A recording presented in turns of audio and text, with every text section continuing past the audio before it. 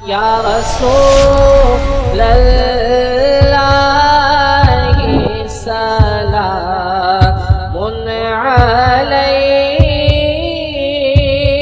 یا حبیب اللہ سلام علیک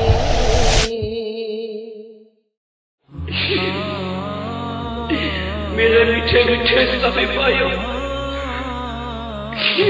یہ اپنی موت اور قبر کے حالات کا باری باری تصور باندھے۔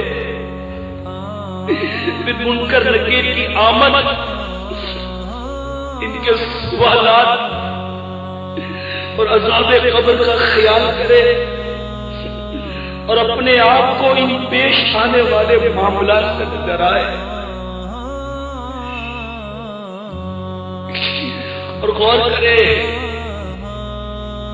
کہ اگر قبر کے سوالات کے جوابات دینے میں میں ناکام رہا، کیسی بربادی ہوگی؟ قبر کا معاملہ یہ بنیادی معاملہ ہے۔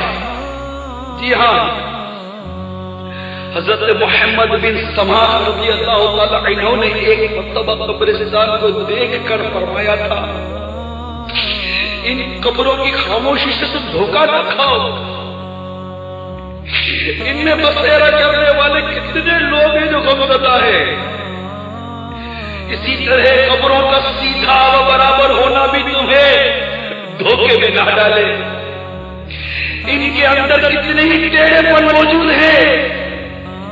اس لیے ہر عقل مند آدمی کو قبر میں داخل ہونے سے پہلے اسے بہت زیادہ یاد کرنا چاہیے۔